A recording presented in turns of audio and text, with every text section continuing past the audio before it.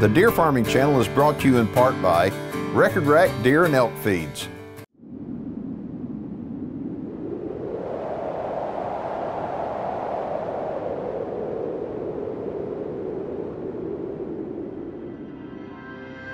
As a deer hunter, I want to know all I can about America's favorite big game animal.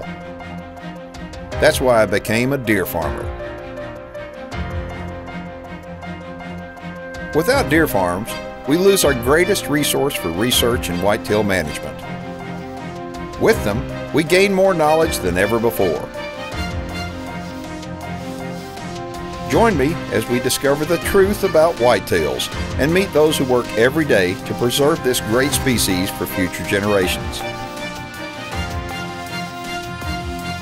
My name is Keith Warren, and this is Deer and Wildlife Stories.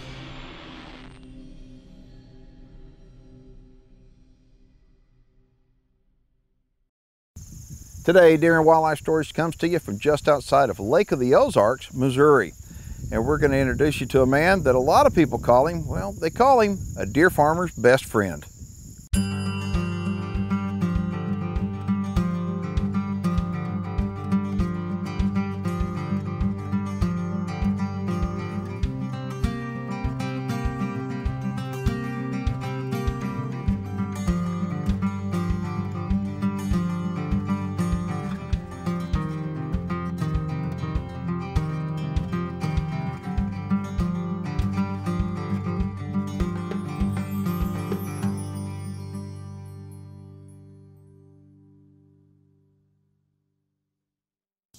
I've known Kevin Grace since I got in the deer business. And uh, virtually anybody in the deer business knows who Kevin Grace is. Uh, there's no telling how many people he has helped set up and continues to help throughout the years. And uh, deer farming, uh, for many people, they wind up getting in it as a hobby and it quickly turns into a business. And the reason why is because people see that they can make money at it. And it's uh, the American way. I mean, it's capitalism at its finest. You know, uh, we can live out in, in a rural area. We can do something that uh, we're working outdoors with animals that we love and we can make a profit at it. So Kevin is a specialist. He uh, specializes in helping people uh, have their dreams come true being a deer farmer. My name is Kevin Grace. I'm with Whitetail Sales and I've been a deer farmer since 1993 and I live in Eldon, Missouri in the beautiful Lake of the Ozarks. Our breeding operation is, consists of 14 acres with 11 pens inside of that, and we raise over 200 deer on that. At Whitetail Sales, we have two different entities. We have the deer farm, which consists of over the 200 head of deer, and we also have a business that we promote and market for other people and have an auction business that is uh, consists of the top 30 sale. That's one of the most popular sales in the world. The process of deer farming is, is a very important group of stages that you need to do. One of the most important stages is gathering information. You can gather that by going to deer farms. You can also gather that going to our website and checking out our website and getting information that way. Also going to auctions that I mentioned I done earlier. These are the beginning stages that you need to do to get a business plan to formulate your deer business. After that, the next stages are having a minimal amount of real estate and gathering the fencing and stuff like that. And that's where we'll come in to help you gather your deer, to find your deer for that farm at Whitetail Sales. All right, how do you buy deer? Well, there's a couple of different ways you can buy deer. You can come to a farm and come on a farm tour. Now, every deer farm that we go to on Deer and Wildlife Stories, every deer farm in the country, as a matter of fact, uh, takes people on farm tours. Pick up the phone, call them up, tell them, look, I want to come look at deer, and I promise you, every one of them has an open gate policy. Uh, that's one way to buy deer. Uh, come out to the deer farm and just look at them and just make your deal right there. Another way is to go to sales. You can go to an auction, and Kevin is, he's, I guess, the biggest auction guy in the deer industry. That he holds deer auctions all over from Texas all the way up to the Midwest, and he has sold literally thousands and thousands of deer at these auctions. And so, what I would encourage you to do, go to Kevin's website. You'll find out more about his auctions that he does. They're online. You can actually participate and watch and learn a lot from watching these online auctions before you actually come on a farm tour. The Deer Farming Channel is brought to you in part by Pneu-Dart, leading the industry in accuracy. Kevin Grace is a virtual encyclopedia when it comes to the deer industry and he has helped lots of people get started and become profitable as deer farmers. On today's show, we're going to introduce you to some of those people. Hi, my name's Kelly Westfall and this is my husband Garrett. We've been deer farming for four years And uh, when we started, we contacted Kevin Grace, and he has been great to deal with from start to finish.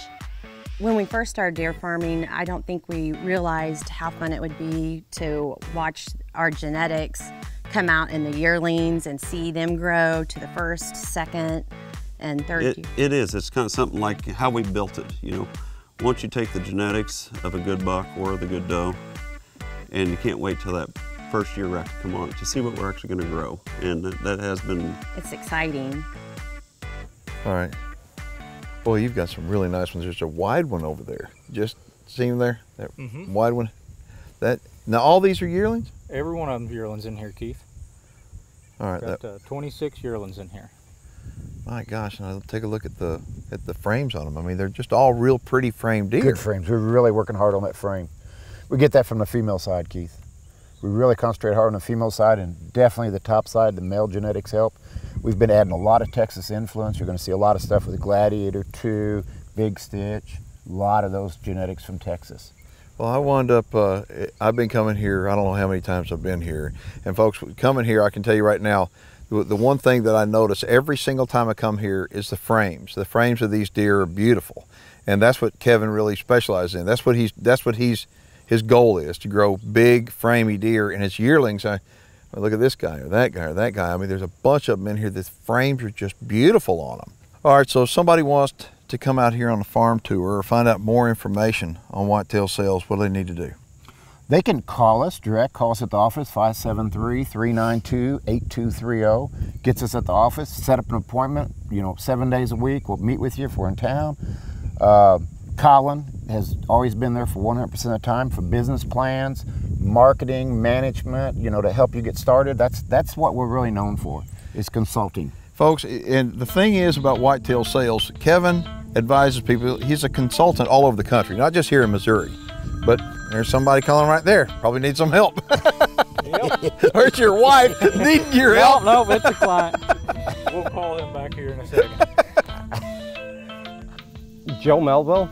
I've been in the deer breeding business here about nine months now. Uh, Kevin Grace and his staff has been extremely helpful to me to, to get where I'm at today. I purchased uh, 10 bred does to Big Stitch from uh, Kevin Grace from Whitetail Sales. Uh, he has great genetics, but he goes the extra step and the extra mile. Uh, I've called him at 3 o'clock in the morning when I had a problem with the fusobacteria outbreak on my facility. Uh, unfortunately, before I realized what was going on, I lost 15 fawns. Since he, he told me what to look for and how to treat it, I've saved every fawn since then. There's a lot of deer breeders in the United States, there's thousands. But there's no one else like Kevin Grace or Whitetail Sales that will go the extra mile and help you the way they helped me. The Deer Farming Channel is brought to you in part by Record Rack Deer and Elk Feeds. Hi, I'm Byron Young and uh, live up there around Warrensburg, Missouri. And uh, we've been planning on deer farming. Me and my wife, been planning, Julie, have been planning on deer farming for the last year and a half. And we've run across a lot of deer farmers and been to some of the ranches and stuff like that. And they're just, they're just an outstanding group of people. We've been looking at the deer farming industry for a couple of years now. And um, we've been down and visited Kevin's farm several times. He's uh, taught us how to bottle feed his uh, baby deer, and that, of course, is, is a lot of fun. He's also taught us some basic farming needs and some uh, basic medical things. We've um, researched the industry because there's a lot of uh, legislation going on in regards to that.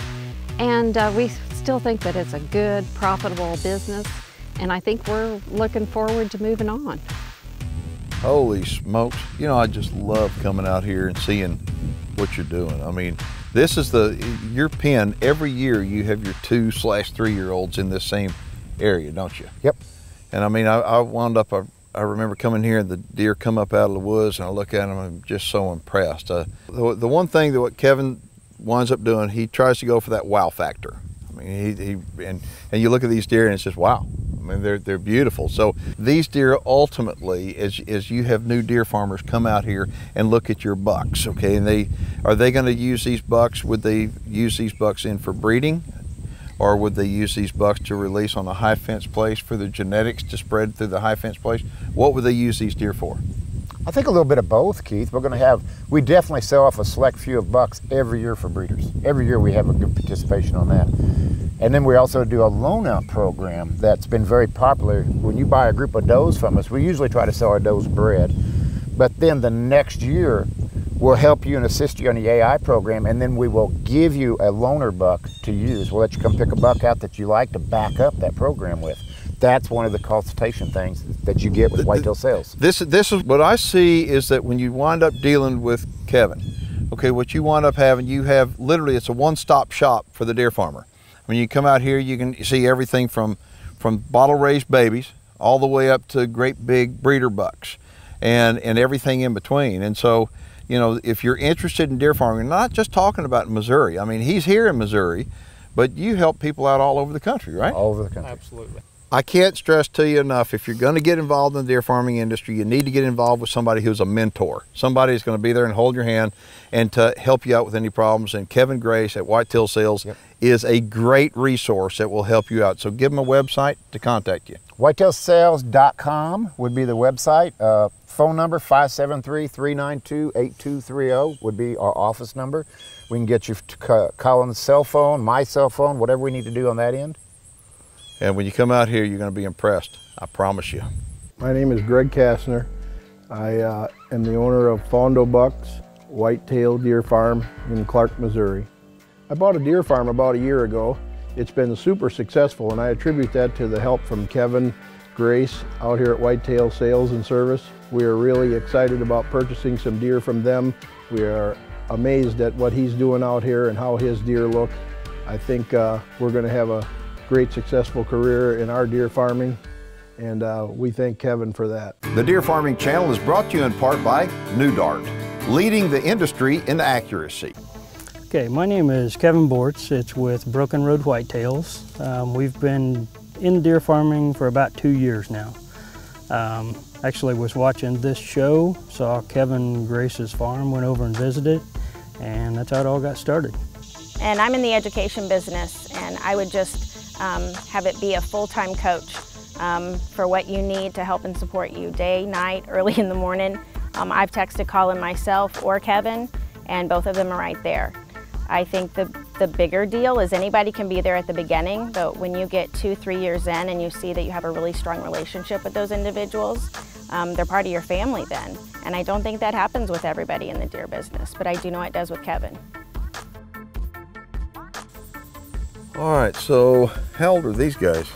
We'd have uh, three-year-olds, two-year-olds, and yearlings all in this pen. Mm-hmm. This is my original herd I started with in 1993. You know, Glory came out of here, Bull came out of this pen. Those are bucks. You remember them, sure. Oh, yeah, yeah. This is heavy in Texas influence, very heavy in Texas influence. I've been breeding Texas since tw- uh, 2001 in this pen. Well, uh, folks, the, this pen right here is actually in a different location than, than the other pens in the, the office. And uh, uh, this is your, actually the first farm, isn't it? This is my first farm, first deer herd, and I actually had another farm, but it's the first deer herd. I started this in 1993. And so these deer that we're looking at here are out of the original deer that were on this farm. Yes, sir. Okay, but did I hear it right when I was in Florida the other day that some of these, some of the deer that are in the Florida herd actually came from here? They did. Half of that herd was based off of this originally. This was heavy Texas influence, and we know when we went to Florida that we had to have that heavy, deep Texas influence, and we took this herd down there. Folks, we were in Florida just the other day and at, at uh, Mike Mansfield's and at High Expectation Whitetails. And Mike has got some phenomenal deer. Now, you heard Kevin talk about the deep, heavy Texas influence being here in Missouri. So, how could it be taken over there? What happened before the borders closed? Kevin and Mike acted quickly before the borders closed, selected the genetics they wanted that would be hardy in that in that environment because it is a tropical environment down there. Mm-hmm. And the the Texas influenced genetics are, are very hardy and Mike's deer down there are really really big and and he he is absolutely insistent that the reason why they do so well is because of the Texas influence. Absolutely. Absolutely. We have very little death loss down there, very little illness. The Texas influence strain, as you've heard me mention multiple times over the years, is what is needed for deep south breedings. This right here, there are some exceptional deer in here Now, will you wind up using any of these guys for breeding? Oh, absolutely. I mean, there's I, I'm looking at that six by six right there. He Uh-huh. is he's a toad. I mean, I don't know what he scores, but anymore, I've got to the point. You know, I ask what a deer scores. I mean, look at this guy right here. I ask what they score, but but it, I, I really don't know why. It's the frames. It's really, the it's talk about how big a frames they got. Yeah. I've got a lot of deer in here. Yeah, but as we're looking at these deer, I'm thinking that's the thing that is consistent with your deer, frame, frame, frame, and and it's like uh, it's the foundation. That's the foundation. You you build a deer on his frame, and so you've got it figured out with the doe lines, and and the the the cool thing is you bottle feed those every year, okay? And the reason for that is obviously to keep them gentle. And uh, I had an opportunity to go up there and spend some time in, the, in that fawn barn, and I just love those little guys. Yeah. Yeah, these right here, these are some phenomenal deer. And this is, so this, you're seeing the Texas influence on these deer. Heavy. Is the bloodline a little bit more heavy Texas than the bloodline in the other pens? Actually, I bought a bunch of doe. uh, Not a bunch. I bought a few does from Texas two years ago and brought in here. So I even have the maternal side Texas in this pen also. The uh, top side, the original stock I have, is probably anywhere from three generations to five generations of Texas influence. Remember, even Glory, when Glory was born, he was the first son out of Texas influence I had on the farm. And he was 373 inches at three years old, which was the largest deer in the country ever at three years old back then. I think he was 2005 when that happened. And so what you're looking at here, the descendants from all that breeding. Yes. And again, these are all in the, you all, you have the registry, I mean, they're in the NADAR registry. Oh, absolutely. If somebody wants more information on whitetail sales, give them your website, please. Whitetailsales.com is our website. Go to it, and you're going to find a lot of really good information right here out of Eldon, Missouri. Hi, my name's Greg Mills uh, with Mills View Whitetails.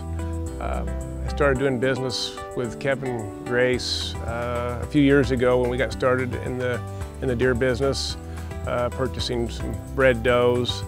a year ago, we also bought a, a breeder buck from Kevin. Um, I found Kevin and Colin both to be just excellent resources uh, after the sale with their service has been fantastic and it's one of the reasons that uh, we continue to do business with Kevin. You know, they call Missouri the show me state for many reasons, but when I come up here to whitetail sales, we show you some unbelievable deer, and it's always a great time. If y'all have any questions or comments about the show, let me hear from you. Get on my Facebook page, and I promise you we'll get right back with you. If you'd like to get a hold of Kevin Grace at Whitetail Sales, we'll have a direct link off our website to his. My name's Keith Warren. I'd like to thank you for watching Deer and Wildlife Stories. Hey, what do y'all think? It's a pretty good afternoon, isn't it? Pretty afternoon after on the farm, yeah. What you're about to see is graphic in nature, so viewer discretion is advised. Last August, many of Texas's deer farmers were forced to kill hundreds of perfectly healthy deer in order to test them for chronic wasting disease. To date, approximately 600 deer have been killed, and the killing isn't over. What's worse is that out of all the deer that were killed, not a single one of them tested positive for chronic wasting disease.